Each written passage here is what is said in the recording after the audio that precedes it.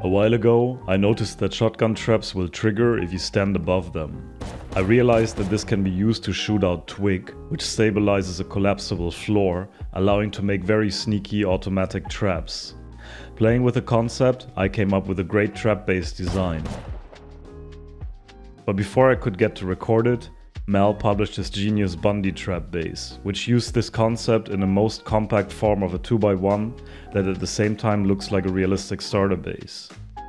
Later, PrinceVidz used the same technique in a more advanced design, which also allowed him to close the door from inside the base to secure the loot. Thus, I put the design on hold and instead used and refined it extensively on a vanilla high-pop server together with Old Fool and various other friends.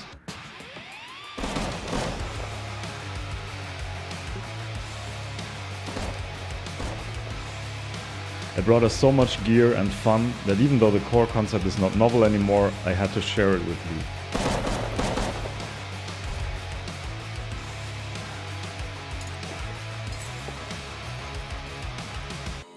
We named it the Mauler because of how badly it mauls its victims. The base comes in the basic shape of a honeycomb 2x2. It costs about 12k stone to build and 1.7k stone to upkeep it. Here is how it works. Upon entering, you find this open double door. The moment someone steps past this double door, shotgun traps will shoot out the twig half wall which holds up two floor tiles. A second shotgun trap then covers the triangle in front of the door, so even if your victims react fast, the traps will still get them.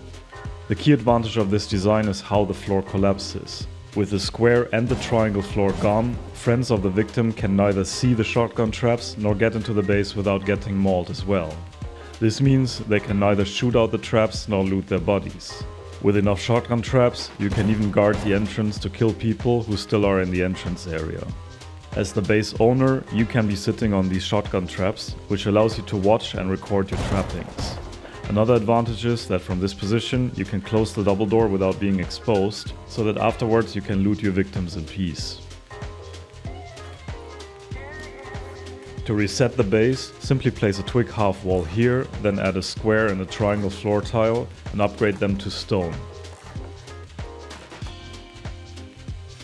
The base further comes with an additional 2x1, which works as the starter unit of the base, allows you to temporarily store loot of your victims, and allows you to craft items on site if necessary.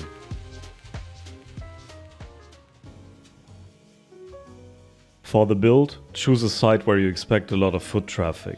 Then try to find a spot where you can sink two squares and one triangle as low to the ground as possible. Build two raised square foundations next to the lower square foundations, and raised triangle foundations around the rest of the lower foundations.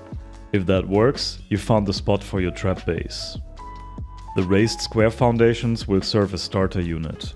Upgrade the foundation that is closer to the triangle and put walls around it.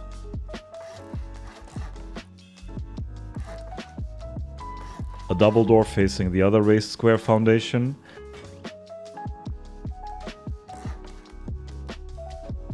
and place a TC like this in this corner. At this point, we used to destroy the rest of the twig to not let people know what we were doing. For the sake of the video, I leave it in place so that it's easier to understand what's going on. Upgrade the second raised square. Add walls. And a single door frame facing the lowered square.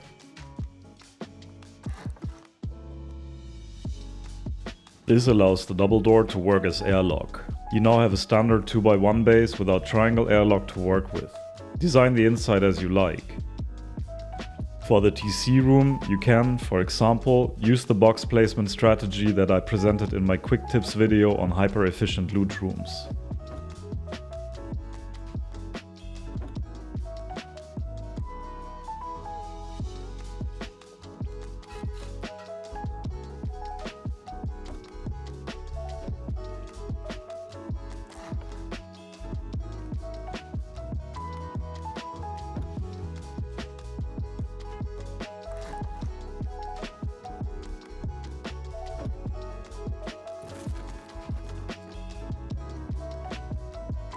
For the other room, I recommend to have furnaces,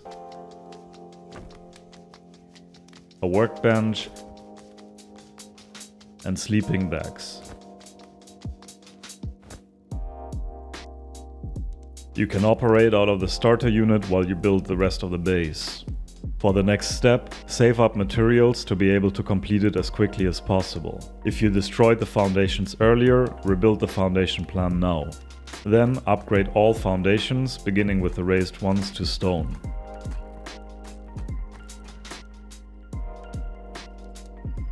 On this side, add a doorway and a door.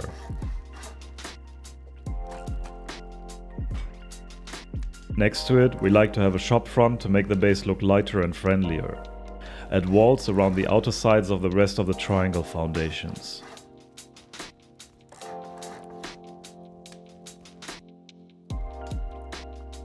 Then close everything off with a ceiling.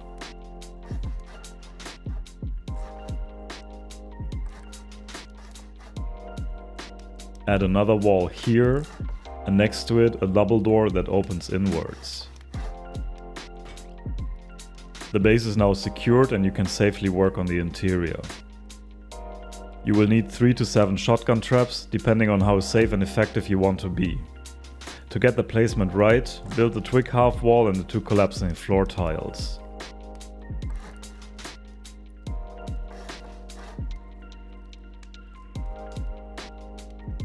Next, place a sleeping bag into this corner. Whoever operates the trap the most should get this bag, as you can spawn here and close the outer door the fastest. Now you're set up to place the shotgun traps. I'll demonstrate the placement in order of importance. Right next to the sleeping bag, place a shotgun trap facing straight forward. This is the trap that will destroy the twig half wall and let the floor collapse. Second, place a trap as close to the twig half wall as possible, pointing at the tip of the lowered triangle. Verify that the trap cannot be seen when you walk in through the double door.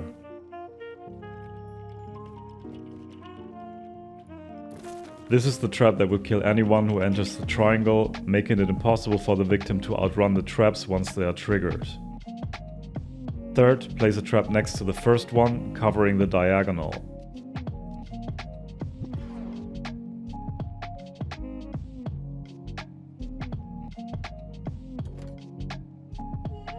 The base now operates safely in the majority of the situations.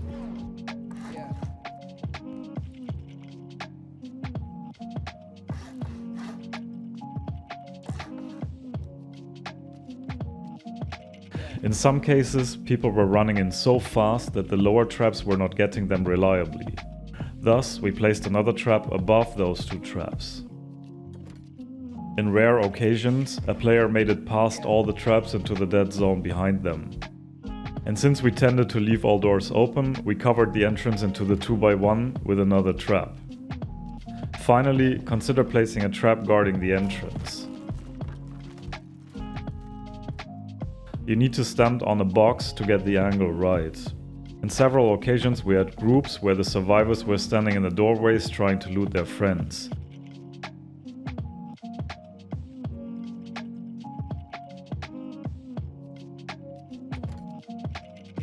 This trap should deter them until you're able to close the outer door. The base is now almost ready to go into action.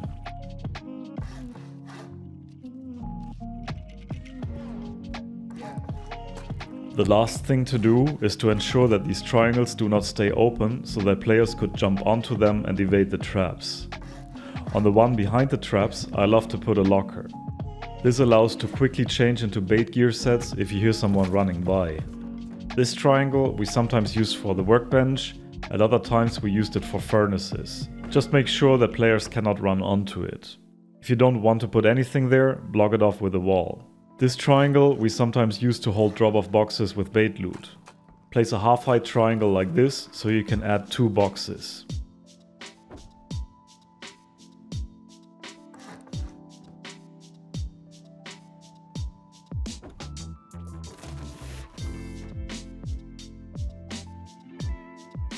If you have a prison cell gate or a garage door, consider to leave the ceiling out and build a simple roof exit.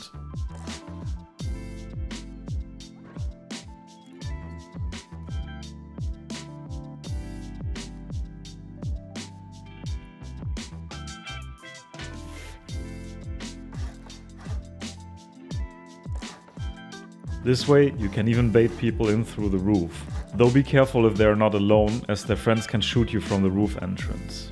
If the traps are placed well, they are not visible when entering through the roof either, until it is too late. We used to put down boxes here to hold emergency materials. At the same time, these boxes visually conceal the outer shotgun traps even better. While the base is operational at this point, one sensible extension is to honeycomb the rest of the base, so it looks like a 2x2 with honeycomb. Primarily because it makes the base look more realistic, but it may also make the difference if a salty victim launches a half-hearted raid attempt.